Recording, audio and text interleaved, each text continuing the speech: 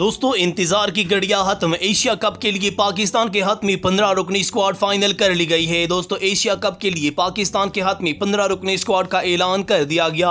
दोस्तों, पाकिस्तानी स्क्वाड में चार खतरनाक तब्दीलियाँ सामने आई हैं। दोस्तों कौन कौन से खिलाड़ी पाकिस्तानी स्क्वाड में वापस आ गए हैं और कौन कौन से खिलाड़ी पाकिस्तानी टीम से ड्रॉप हो गए हैं, पूरी वीडियो आपके साथ शेयर करने वाले हैं। लेकिन दोस्तों, अगर आपने अभी तक हमारा यूट्यूब चैनल सब्सक्राइब नहीं किया है तो हमारा यूट्यूब चैनल सब्सक्राइब कीजिए और इस वीडियो को लाइक कीजिए। दोस्तों, इंतज़ार की घड़ियाँ खत्म हो गई। अफ़गानिस्तान सीरीज़ और एशिया कप के लिए पाकिस्तान के हाथ में पंद्रह रुकनी स्क्वाड का ऐलान। पाकिस्तान के नए चीफ सेलेक्टर इंजमामुल हक ने कर दिया है।